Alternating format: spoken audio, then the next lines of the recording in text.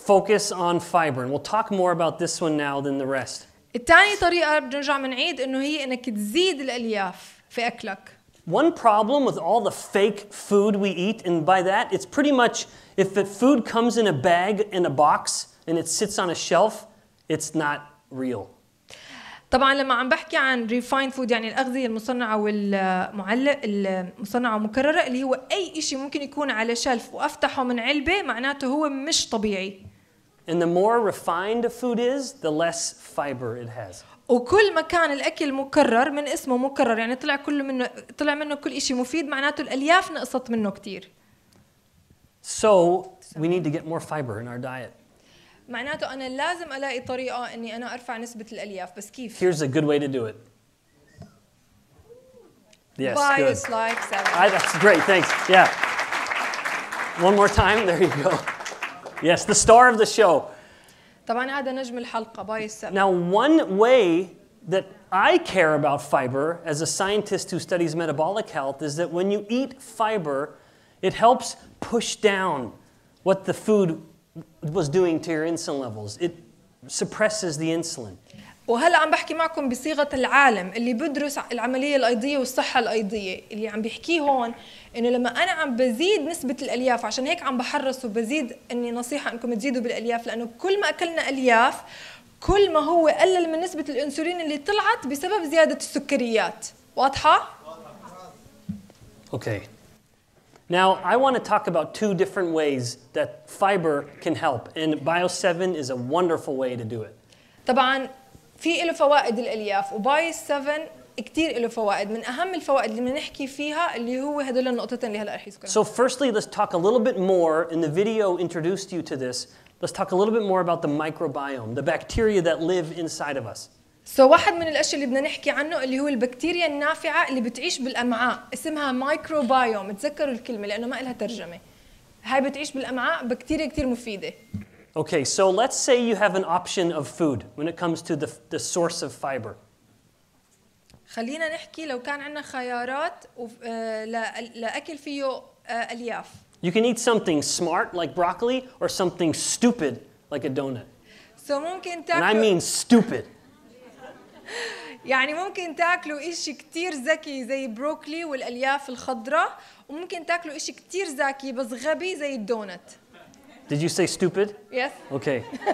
In fact, next time you're going to grab a donut, I want you to picture my big round head saying no, تاني مرة لما تيجي slapping your hand away.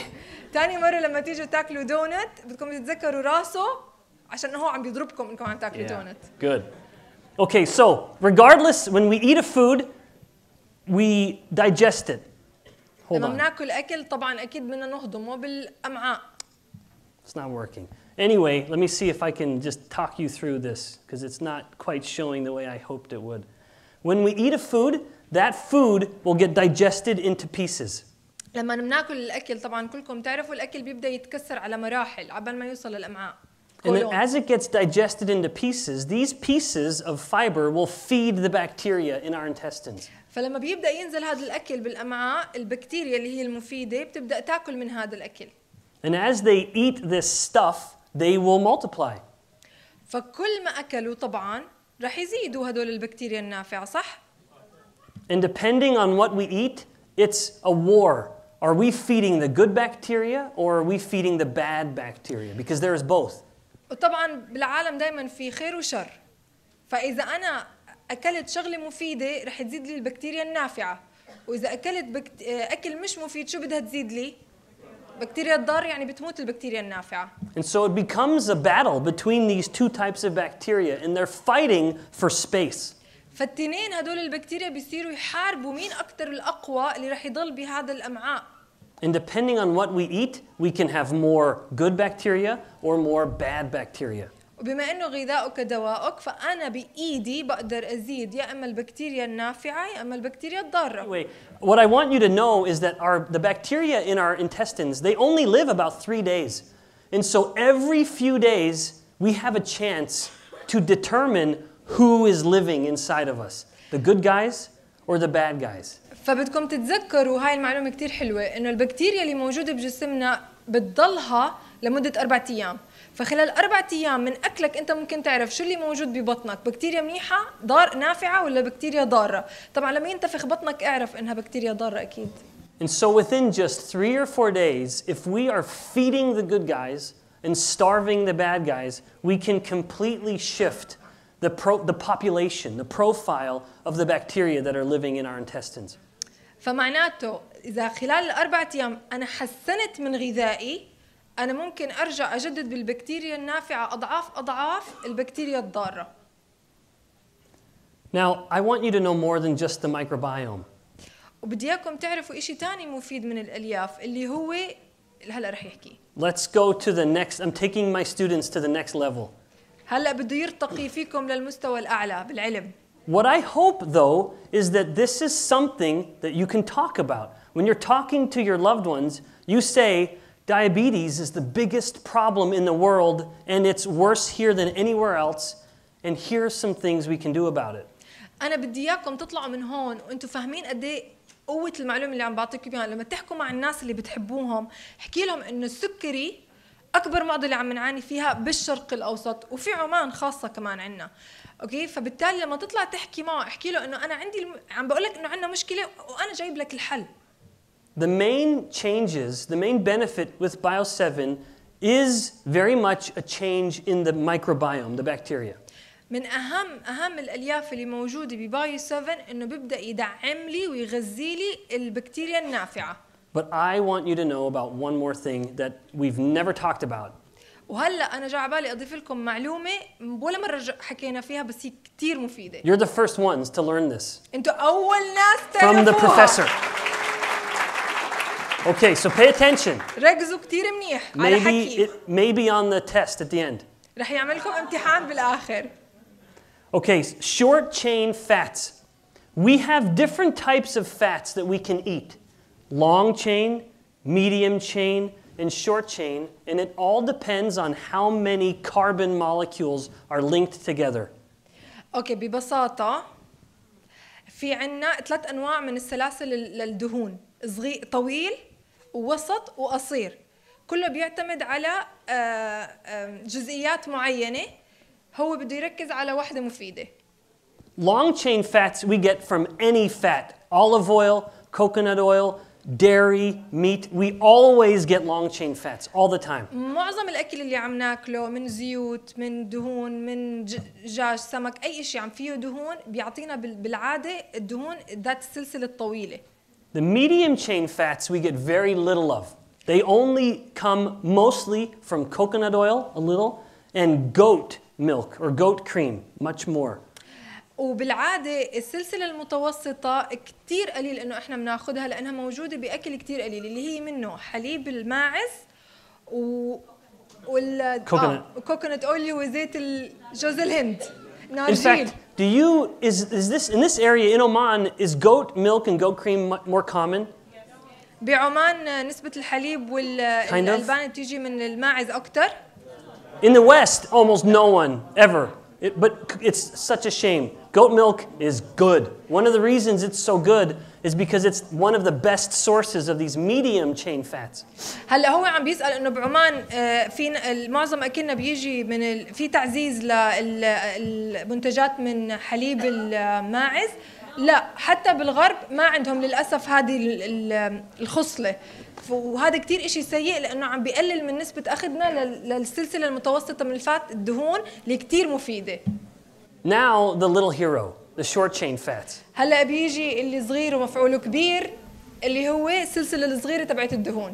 These short chain fats, when you have more short chain fats in your blood, it actually tells your body fat to become more metabolically active. It, ba- it tells your body fat to be active. اوكي I don't know, it turns them on. It turns on your body fat. بيسك تخيلوا معي لما انا عم بعطي الجسم إشي طويل اوكي عشان يهضمه ولما اعطيه إشي صغير مين اسرع فلما انا اعطيه سلسله دهنيه صغيره شو عم بيعمل الجسم بسرعه بيلحق يكسرها ويحرقها فبيعطيني طاقه فبيضل شغال الجسم وبيحرق حلو Hello? Okay. In addition, so this matters because if we have more metabolically active fat, our metabolic rate, remember that fire inside of us, it gets big. وبتتذكروا لما حكينا إنه إحنا الجسم زي كأنه عم بيشغل نار لما بياخذ وقود بيحرقه فبيطلع نار هدول المولي هدول السلاسل الصغيرة بت بت بتشعله بزيادة يعني نسبة الحرق فيه بتصير كثير أسرع فأنت بصير عندك طاقة كثير أكثر Okay, it also helps the muscles work better. So the insulin that comes to the muscles works better, and if the insulin works better, insulin levels start to come down. وببساطة عم بيقول إنه العضل بيبدأ يشتغل أحسن بنسبة الأنسولين أقل. عرفتوا كيف الفكرة؟ لما أنا بزيد هدول الدهنيات القصيرة الجسم بصير بيحتاج أنسولين كتير قليل ليحرك عضلة وتصير فيها طاقة. Hello? واضحة؟ حلو؟ Okay. okay. Okay, last one, and there's more I could talk about, we just don't have time. When these little fats come to the liver, it tells the liver, use fat for fuel. وفي عنده فوائد كثيرة بس أنا مضطر أدقق على بس هدول الثلاثة اللي هو كمان لما أنا عم بزيد دهون صغيرة بالجسم عم بتروح لل وين؟ للكبد، لما عم بتروح للكبد شو عم تحكي له؟ عم تحكي له إنه أنت عندك دهون صغيرة فكسر زيادة الدهون الكبيرة ما بتحتاجها anymore. And so what happens to the sorry, what happens to the amount of fat in the liver then? It starts to go down. Fatty liver disease starts to get better just because these little fats start to clear out the bad fat. فالصغير أقوى من الكبير فلما بدخل الدهون الس- السلسلة الصغيرة بتبدأ تطلع السلسلة الكبيرة اللي هي مش مفيدة اللي هي بتعمل المرض في الكبد فالكبد إذا كان في مرض إذا بتزيد من هاي النسبة مرض الكبد بيبدأ يقل يعني بإيدك كمان مرة الحل. واو. يس واو. يس أوكي سو if these little fats are such little heroes in our body how do we get them طب ما دام هالقد شيء كثير فظيع ومجدي من وين نجيبهم؟ Well fiber. طبعا نجيبهم من الألياف. When this happy little man takes some fiber, like especially from Bio 7, he, our bodies, we can't digest fiber. We're not cows. We can, or goats. We can't digest fiber, but our bacteria can. هو عم بيقول انه طبعا عشان تزيد نسبه هدول الالياف الصغير ال- الدهون الصغيره اوكي لازم ازيد من الفايبر يعني وين اللي موجود باي 7 هلا جسمنا بطبيعته ما بيقدر يكسر الياف لانه احنا لا بقر بعيد عنكم ولا ماعز اوكي بس اللي بيقدر يكسر هاي الالياف اللي هي البكتيريا النافعه اللي موجوده بالكولون حلو Yeah, hello. Okay, so if the fiber eat the bacteria, their byproduct, their waste product, is short chain fats. Could you say that again Yes. when the fiber, when the, uh, when the bacteria eat the fiber, they produce short chain fats from the fiber. from the bio 7 Yes. اوكي ميزه بايو 7 Good. I hear O's. That's Yeah. good. You should be saying that. It's fascinating. يا It's science. للي ما فهم قبل ما تزقفوا بليز عشان افهم كل حدا باي 7 اوكي لما بيدخل بالجسم وبيدخل على الكولون البكتيريا النافعه لها القدره انها تكسره بحيث انه يطلع له آم، آم، آم، سلاسل صغيره اوكي فهاي قوة في البايس لايف 7 ما بتلاقوها بولا مكان تاني بتقدروا تحكوا هلا واو Good. Yes. But remember, the reason I want you to know this as a professor is I want you to understand why the fiber would matter at all. You now can say, how does the fiber help? One, it helps my bacteria in my stomach be better, in my intestines, not stomach, the short, the long Yeah. intestine. كولون And second, it helps promote the, the, the, the growth or the production of short chain fats. بكل بساطة تخيلوها معي زي كأنها قصة، أوكي؟ هو إيش عم بيعمل؟ أنا بحتاج بكتيريا نافعة عشان تكسر الألياف، صح؟ عشان تطلع لي دهون سلسلة صغيرة، صح؟ سو باي 7 شو بيعمل؟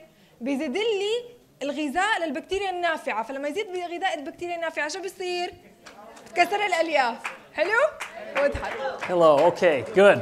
Now, it is this unique combination of, of ingredients in the Bio 7 that is so unique and relevant, as you've heard about. It, this is why physicians can refer to this product when they discuss these things with their patients. ولانه يونيسيتي بتشتغل بابحاث وبعلم مدروس كتير قوي هاي الميزة مش موجودة بأي منتج تاني بالسوق فيش ولا منتج بيقدر يعطيك هاي الميزه فمن هيك هو ماخذ براءة اختراع ومو بس هيك كمان داخل بمرجع الأطباء الأدوية اللي موجود بأمريكا بما يعني إنه الأطباء في أمريكا ممكن يوصفوه بكل أريحية للمرضى تبعهم Good.